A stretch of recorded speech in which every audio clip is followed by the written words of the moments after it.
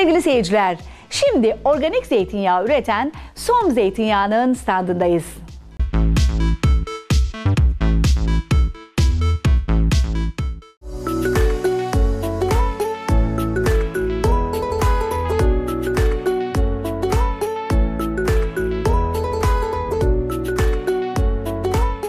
Evet fuardaki izlenimler Som sızma zeytinyağının sahibi Ali Osman Menteşe Bey ile beraberiz. Efendim merhabalar. Merhaba efendim, hoş geldiniz.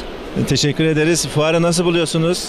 Fuar bu sene çok iyi. Daha çok e, katılımcı var firma açısından. Ziyaretçi sayısı da oldukça yüksel. Ve standart yükselmişti. Önceki yıllara göre e, çok başarılı geçiyor. Som sızma zeytinyağı olarak e, sizi bir tanıyalım. Üretimde e, önemli yerdesiniz. Tüketicilere neler söyleyeceksiniz? Ne gibi faydalarınız oluyor? Hem firmanızı bir kısaca anla- anlatın.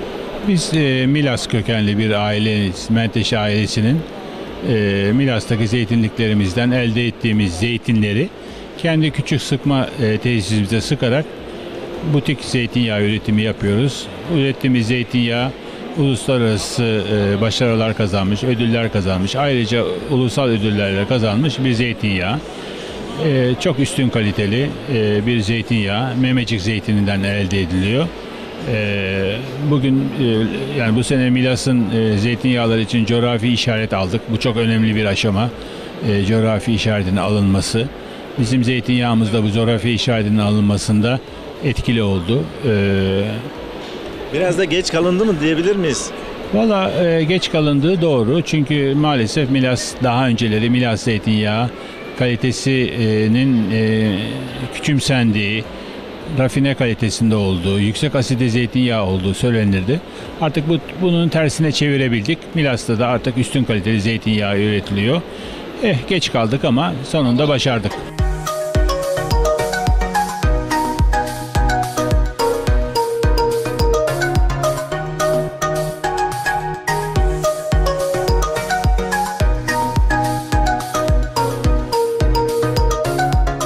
Peki Ali Osman Bey, e, tüketicilerimize ne tavsiye edersiniz? Zeytinyağı aldıklarında neye dikkat etsinler? Tüketiciler bir kere bol miktarda zeytinyağı tüketmeleri lazım. Bu zeytinyağı hayat iksiri. İnsan sağlığı için gerekli olan bir vazgeçilmez ürün. Hiçbir e, bitkisel yağda olmayan özellikler yani insan sağlığı için yararlı özellikler zeytinyağda var. O zaman zeytinyağı tüketeceğiz bol miktarda.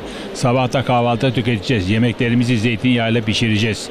Zeytinyağlı adı altında geçen yemekleri de zeytinyağla pişireceğiz. Maalesef ülkemizde bu yapılmıyor.